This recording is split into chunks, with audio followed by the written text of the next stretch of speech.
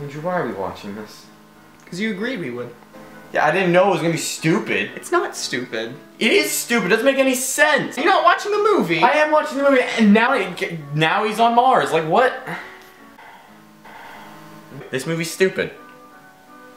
How dare you say this movie's stupid? This movie is revolutionary. You know what be revolutionary? Color. Color be revolutionary. Why I want a color movie. Because that's not the point.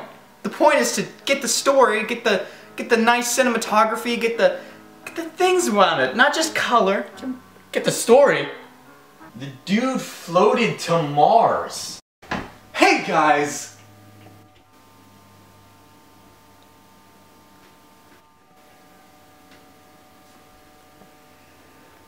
What the f- Film is important. You really should pay attention to film, Sean. All important aspects of our culture have been influenced by popular culture and media such as film. You're absolutely right, Andrew. Thank you. To the Moon, 1910, has influenced directors for generations and even extends into today. To the Moon, 1910, has influenced directors for generations. The cinematography of the picture describes a great understanding of how to use different forms of media. Andrew, this is a closet. Influenced by various items such as the use of various cinematography techniques that were pioneered within To the Moon 1910 have been absolutely. Things change, Sean. Have the lambs stopped screaming yet? What? Cinematography has really been influenced by a lot of older movies, but Steven Spielberg even said that cinematography. What is cinematography?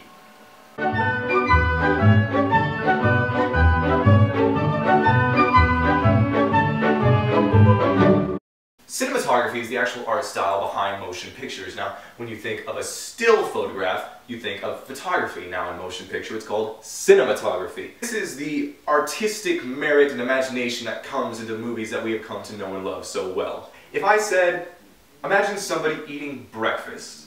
Now, in your mind, you may have a specific image of what that looks like. Well, this is what cinematographers do. They read a script or a screenplay, and they take that mental image and reproduce it into actual film.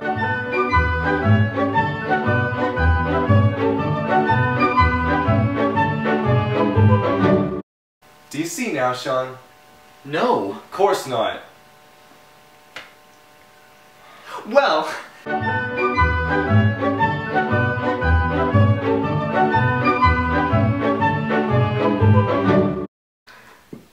you ever seen the Titanic?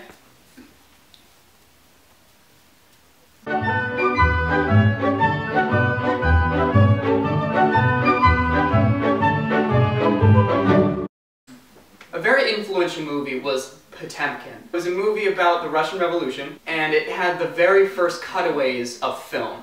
A cutaway is when an actor is looking at something, and the camera cuts towards to what that object is. Now in Potemkin, it was a small child waving, and it cut to a flag flowing. Charlie Chaplin was very influential in the comedy scene of movies, the silent film, and he was one of the very first actors that started off this whole comedy revolution that he brought on with, you know, jokes like pies to the face and knocking people over and stuff like that.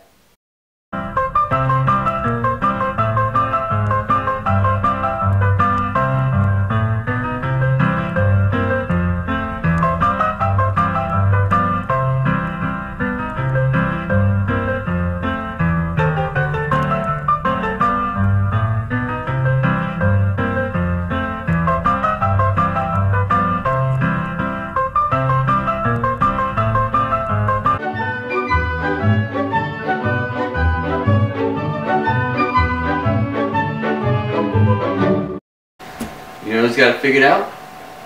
Michael Bay.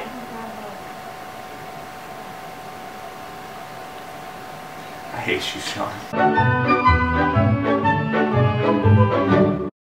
No, but seriously, Michael Bay thing is a whole it's a joke. Basically, he represents something that's that's an issue in today's society when it comes to movies. People don't care about story or anything anymore. They care about explosions and, and guns. And if the car doesn't go faster than 100 miles an hour, it's not really a movie, am I right? Remember, never forget the three B's. You got booms, Bugattis, and girls. Take this video for example. Would it be better if I just sat here and talked about things you probably don't care about? Or would it be better if I had a hot body, was shirtless on a beach with a babe, and this exploded? That's what I felt.